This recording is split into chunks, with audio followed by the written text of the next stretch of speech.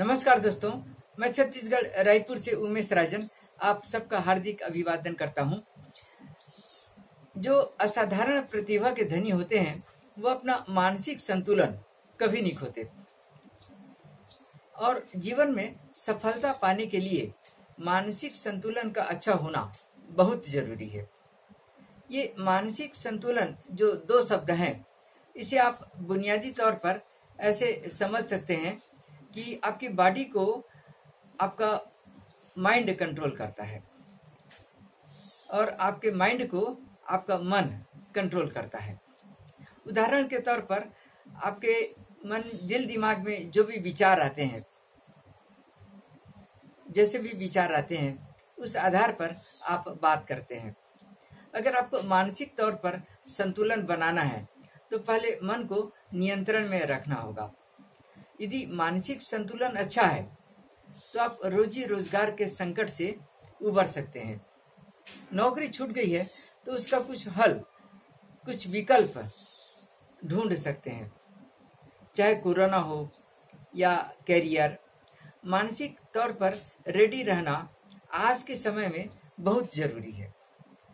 आज हम हस्तरेखा के आधार पर मानसिक संतुलन और बेरोजगारी पर बात करेंगे। यदि आपका प्लेन ऑफ़ मार्स खाली है, जिसे हम राहु क्षेत्र कहते हैं। वहाँ एक भी रेखा ना हो। ये प्लेन ऑफ़ मार्स है। ये जो ये जो मस्तिष्क रेखा के नीचे का जो पोर्शन है, ये प्लेन ऑफ़ मार्स है। ये यदि खाली हो, यहाँ एक भी रेखा ना हो तो व्यक्ति कभी कभी बेरोजगार हो जाता है। उसका जॉब छूट जाता है। काम धंधा बंद हो जाता है। तो कभी कभी धन के लिए तरसना पड़ जाता है।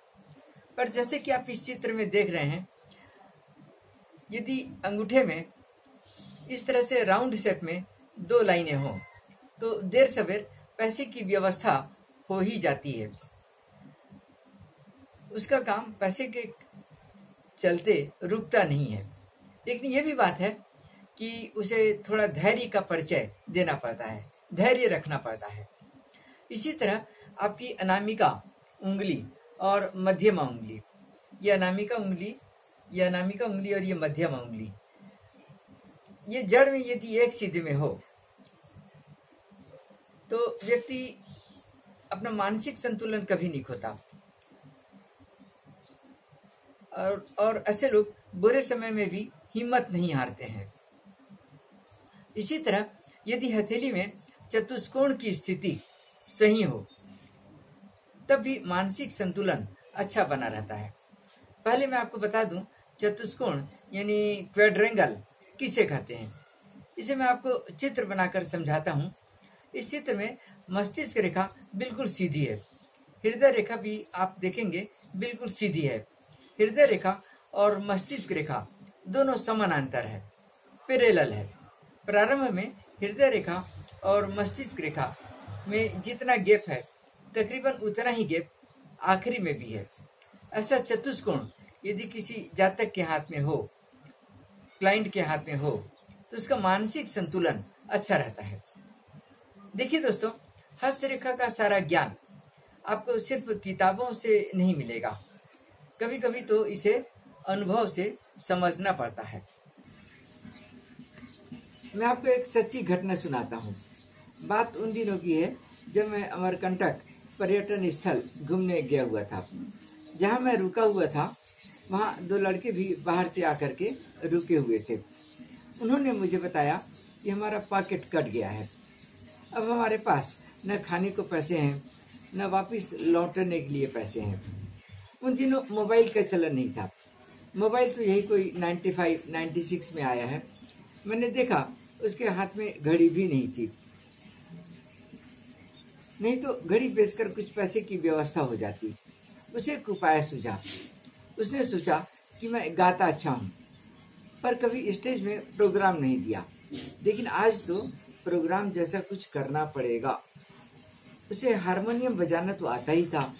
दोनों ने मिलकर हारमोनियम और तबले की व्यवस्था कर ली और चौराहे में बैठकर गाने लगे।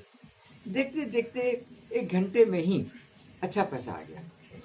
उसने पहली बार जाना कि यदि मानसिक संतुलन अच्छा हो, पास में अच्छा हुनर हो तो व्यक्ति बुरे समय से उबर सकता है। कार्यक्रम खत्म होने के बाद मैंने उसकी हस्तरेखा देखी। न तो उसकी अनामिका उंगली और ये मध्यमा उंगली, दोनों एक चीज़ में नहीं थी। और न ही उसका जो चतुष्कोण है क्वेड्रेंगल है, वो भी समानांतर नहीं था। बल्कि मस्तिष्क रेखा चंद्र पर्वत की ओर ज़्यादा झुकी हुई थी, जो उसे कलाकार हृदय का बना रही थी। फिर मैंने सोचा कि उसमें इतना अच्छा कार्यक्रम देने का कॉन्फिडेंस कहाँ से आ गया? तो उसका हाथ पढ़ते पढ़ते मुझे पता चला कि उसका जो अंगूठा है, उसका जो दूसरा पर्व है ये, वो पतला नहीं था अच्छा भरा हुआ था, जिसके चलते उसमें कॉन्फिडेंस आ गया और वो इतना अच्छा प्रोग्राम दे सका। तो मेरे दोस्तों यदि आप बेरोजगार हैं और खासकर कोरोना जैसी महामारी के चलते आपको लॉकडाउन में रहना पड़ रहा है और आप डिप्रेशन फील कर रहे हैं तो हिम्मत ना हारे। अपना आत्मविश्लेषण करें। ऊपर वाले ने हर किसी को कुछ न कुछ खासियत दी है, काबिलियत दी है। इसीलिए अपने को निराश होने से बचाएँ। प्रकृति का एक नियम है कि जो वक्त है, वो कभी ठहरता नहीं है। वक्त जैसा भी हो, गुजर जाता है। जिसने कामयाबी देखी है, वो खुश रहे, न रहे। पर संघर्ष के क्षणों में, जिसे खुश रहना आ गया, वो इंसान एक न एक दिन कामयाब हो जाता है। नमस्कार